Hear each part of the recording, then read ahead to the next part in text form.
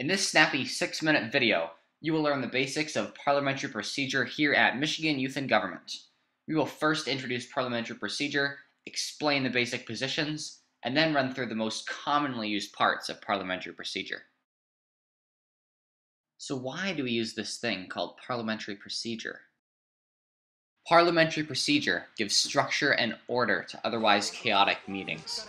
It helps ensure measures and ideas, not people, are debated, lets everyone speak in turn, and allows the majority to carry out informed decisions through active and balanced debate.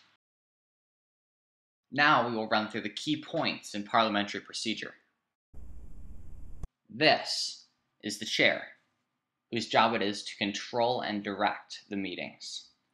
The clerk assists the chair while reading and maintaining bills.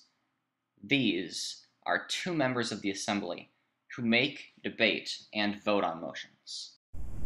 Is there any unfinished business? No. Unfinished business is any business that was not concluded in previous meetings. Is there any new business? In the order of new business, any new business, such as proposals, motions, or changes to the standing rules, can be brought up. I would like to open. Point of order. Please state your name and delegation. Point of order is used to interrupt any speaker who isn't following parliamentary procedure. In this case, he forgot to introduce himself. Before any delegate addresses the assembly, they must first be addressed by the chair, and secondly, they must state their name and delegation. Only then can they start speaking, unless they are using either point of information or point of order. Ian McKnight, Black River Delegation. I move to open Senate Bill number 64 found on page 18. When opening a bill, use the phrasing, I move to open either Senate or House, bill number blank, found on page blank.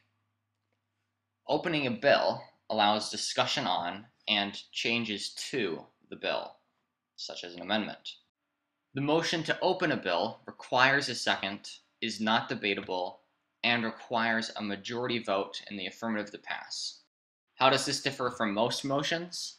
Most motions first require a second, in which another delegate says second, indicating their support for the motion. After this, most motions become open for debate, where delegates can participate in discussion and make changes to the motion. Then the motion goes to a vote. Opening a bill, remember, is not debatable. It simply requires a second and then goes to a vote. I move to open Senate Bill number 64 found on page 18. Is there a second? Seconded. All in favor of opening Senate Bill number 64, please signify by saying aye. Aye. All opposed, please signify by saying nay.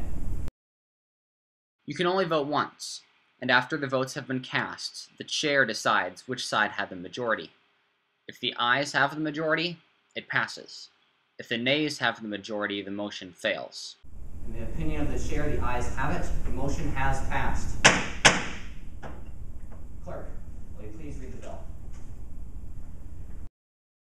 Additionally, you can appeal the chair's decision with division before the gavel has been struck. This forces the chair to take an exact count of the votes. Point of information? Point of information can be used anytime someone else isn't speaking.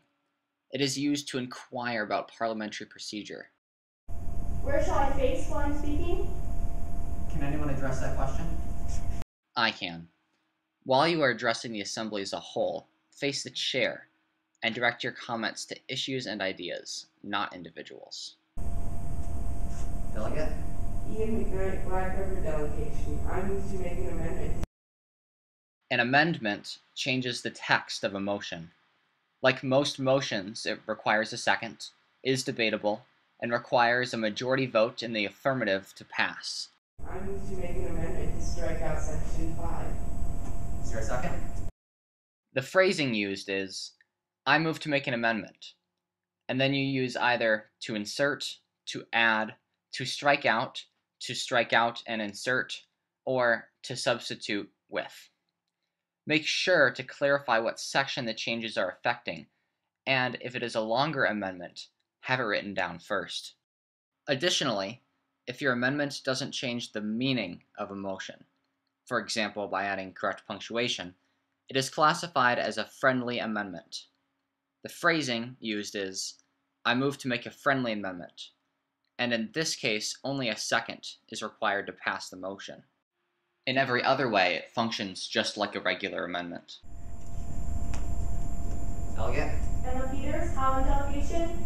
I move the previous question. Is there a second? Second. The previous question requires a second, is not debatable, and requires a majority vote in the affirmative to pass. If it is passed, the Assembly moves to an immediate vote on the current motion. Thank you for watching this Michigan Youth in Government video on parliamentary procedure.